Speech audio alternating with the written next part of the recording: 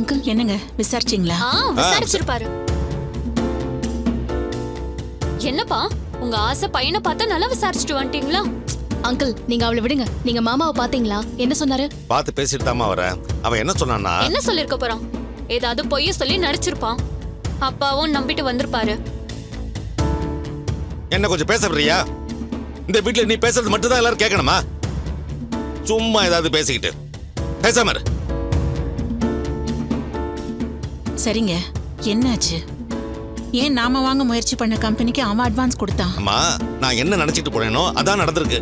என்ன? தமிழுக்கு நாம தான் கம்பெனியை வாங்க போறோங்கிற விஷயமே தெரியாதுமா அப்படியா? ஆ,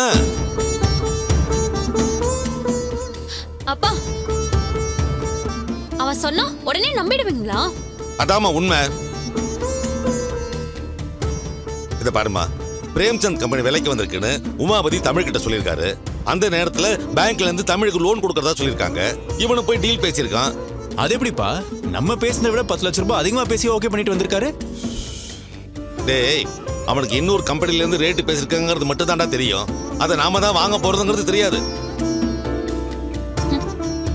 ஏங்க இதெல்லாம் நம்புற மாதிரி அங்க இருக்கு. இந்த வீட்ல பல பேர் பல விஷயங்களை சொல்றீங்க. நாங்களும் என்ன ஏதுன்னு கேள்வி கேட்காம நம்புறோம்ல. இதோ நிக்கிறாரே மாப்பிள. இவர் கூட கிளாஸ்மேட் கிட்ட தான் பேசிட்டு இருந்தேன் சொன்னாரு. நாங்க நம்பல. அப்பா இப்ப எதுக்குப்பா தேவையில்லாம அவரை பத்தி இழுக்கிறீங்க உங்க பையன் பண்ண தப்பு எதுவும் உங்க கண்ணுக்கு தெரியலையா? ராகினி அந்த கம்பெனிய நாம தான் வாங்க போறோம் தமிழ் மாமாக்கு தெரியாதுன்னு சொல்லிட்டார்ல.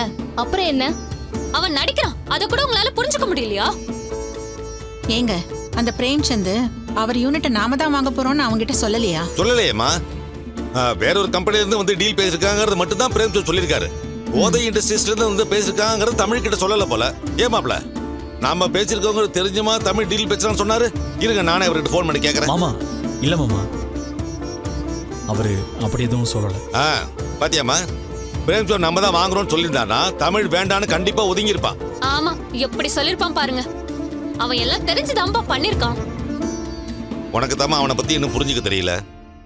இப்ப கூட அட்வான்ஸை திருப்பி வாங்கிக்கிறேன்னு தான் சொன்னான். என்னங்க சொல்றீங்க? ஆமாமா நாம வாங்க போறோங்கிறதே அவனுக்கு தெரியாது. நீங்க தான் வாங்க போறோம்னு தெரிஞ்சிருந்தா அந்த பக்கமே வந்திருக்க மாட்டேன்னு சொன்னான். இப்ப கூட நீங்களே வாங்கிக்கங்க நான் விட்டு கொடுத்துறேன்னு சொன்னான். பாத்தியா கார்த்தி? இதுதான் தமிழ் மாமா கிட்ட இருக்கிற பெரிய மனசு. புது கம்பெனி வாங்கி டெவலப் பண்ற நல்ல சான்ஸ் கிடைச்சும் அதை வேண்டாம் திருப்பி கொடுக்கறேன்னு சொல்லிருக்காரு